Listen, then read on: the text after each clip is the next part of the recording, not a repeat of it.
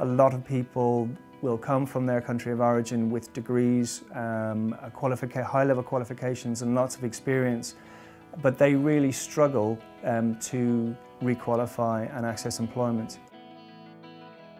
First of all, I tried to find a job which would be uh, relevant to music, but it was difficult. I would say because I didn't know the system and uh, I didn't have any idea about how to apply for a job. Refugees into Teaching is a project within the Refugee Council and the idea is to support people who have a background in teaching from their home countries to requalify and access employment here in the UK. We recognised there was issues around confidence, around being able to stand in front of a classroom and control a classroom and being able to articulate yourself properly within the classroom. So we approached the Central School for Speech and Drama and asked them would they consider offering a short course on this.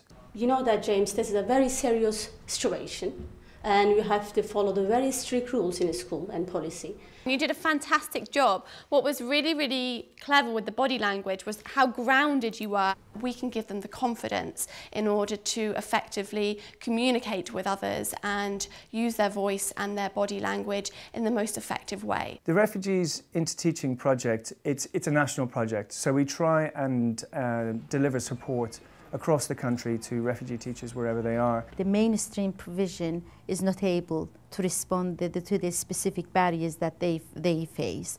So with courses like this, they are in an encouraging and empowering environment.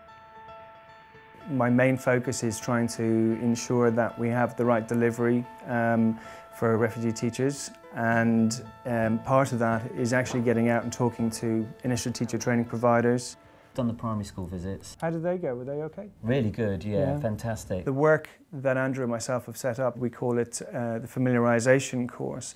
And the idea is that uh, the course focuses on providing a level of orientation and familiarisation with the English education system. It's a way to help them make a decision, basically. It's to make them have an informed choice. So it's to present this is this is what it takes to become a teacher or to work in various support roles in schools. This is what you have to do to get there.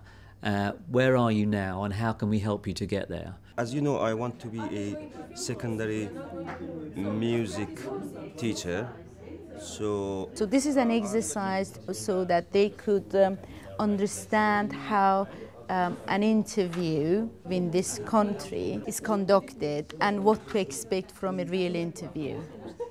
Schools are the employers and um, they're the ones that we're really trying to influence in order to get um, the people who are registered with us into secure paid uh, positions within primary and secondary schools. I'm gaining lots of experience because I'm going to schools, uh, I'm observing and uh, and I can um, gradually get used to the environment and I hope I will be able to find a job.